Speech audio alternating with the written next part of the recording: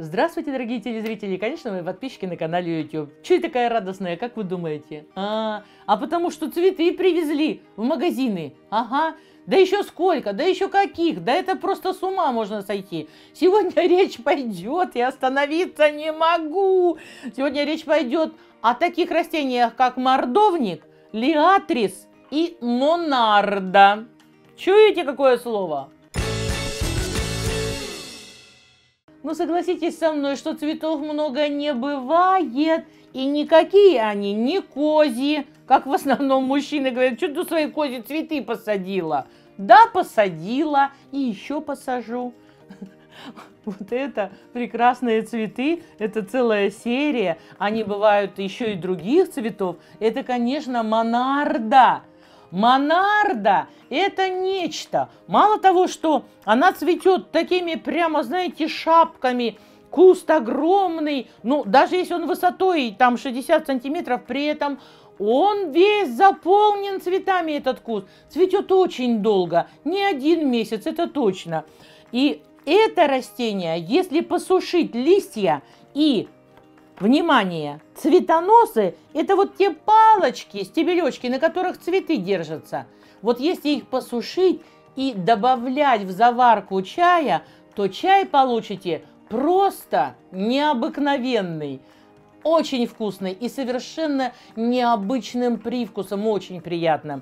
Ну, следующие э, цветы, которые достойны нашего да, поклонения, уважения, это уже привычный всем Лиатрис. Ну какие слова красивые. Правда? Лиатрис, конечно, должен занять достойное место в вашем саду. Ну да, солнышко любит, там переувлажнение корневой системы не любит, да почти все цветы не любят. Я в следующей программе вам расскажу, какие э, растения можно посадить на болотистой почве. А сегодня речь о тех, кто любит дренаж под корнями и никакого застоя воды. Лиатрис относится к таким же растениям. Вы знаете, есть три разновидности. Колосковый, а, пленчатый и шероховатый. Здесь представлены только колосковые лиатрицы. А вот пленчатый, он имеет э, э, цветы, как у монарда, вот такими же вот пачками так вот расположен. А шероховатый, он несколько вообще иначе выглядит.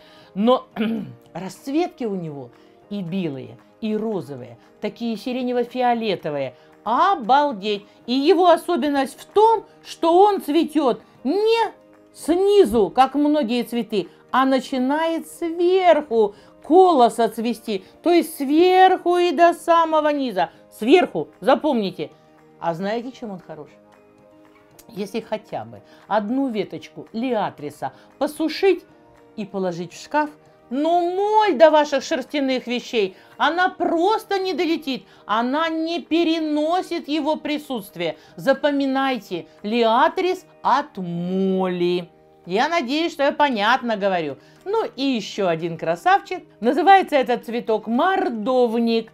А он необыкновенный, вот это белый. А я видела синие. Кустище огромный просто, просто как куст вишни. И все в этих шишках круглых, причем достаточно крупных.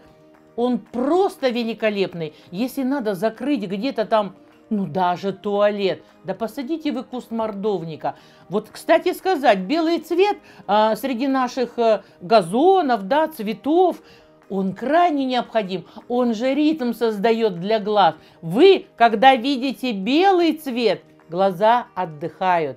Когда видите Красный цвет, глаз напрягается, ему опять нужно увидеть белое. И неважно, как выглядят эти э, штуки в пакетах, э, корневища, э, ложные корни, ложные луковицы, а, а, а названий там ой, ой, очень много, запомнить их достаточно трудно, но вам это не надо, я хочу сказать другое.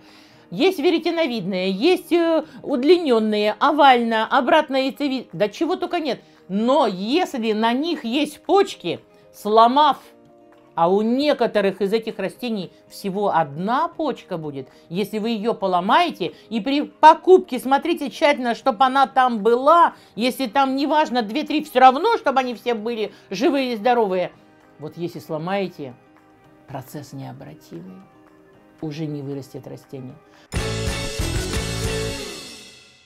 Поэтому я призываю вас украсить свои сады. Это многолетки. Они на зиму не укрываются, хлопот не доставят. А я вас всех люблю. Всего доброго вам и до свидания. Всегда ваша тетя Таня.